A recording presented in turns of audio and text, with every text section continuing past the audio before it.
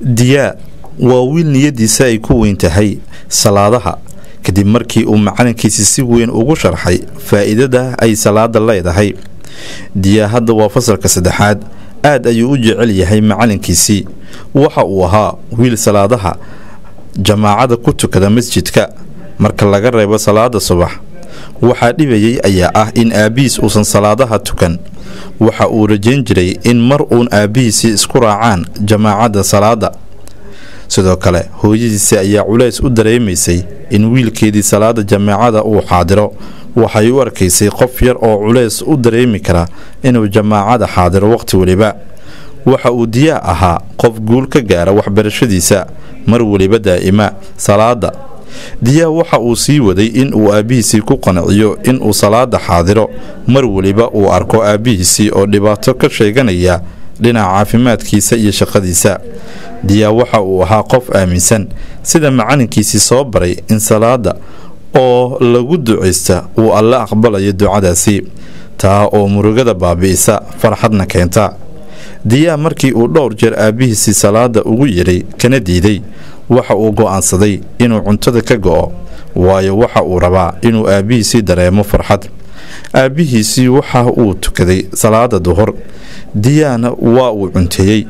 Aabbihii waxa uu u maleeyey in diyaa uusan mar dambe cuntada joojin doonin laakiin waxa uu la yaabay in muddo lix saac uusan wiilkiisii raashiinba uusan cunin.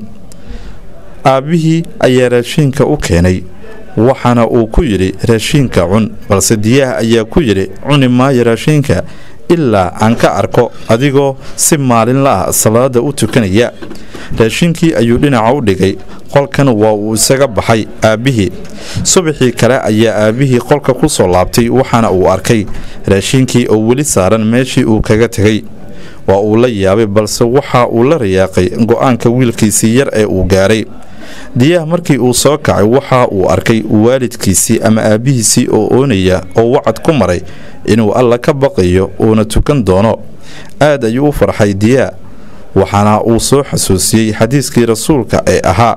Qofka muslimka hadduu weysada wanaajiyo xiliyada salaadaha uu alle u dembi dhaafayo salaadba midda xigta.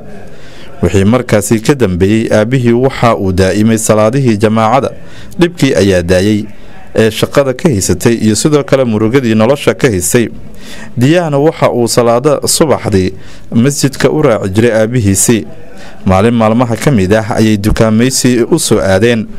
Magaalada waxaana aabbihii uu ku degay dukaanka halkaasi uu ku yaalay balse waddada dhinaceeda ayuu gaariga kaga tegay waxaa kor yimid diyaa oo gaariga saarnaa askari boolis ah oo weydiiyey aabbihiisii maadaama qalad uu ku jiro.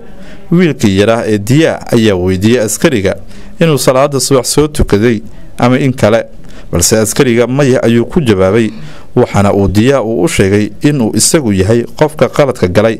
Uu allihii abuuray uu qalad ka galay loona baahan yahay inuu u laabto.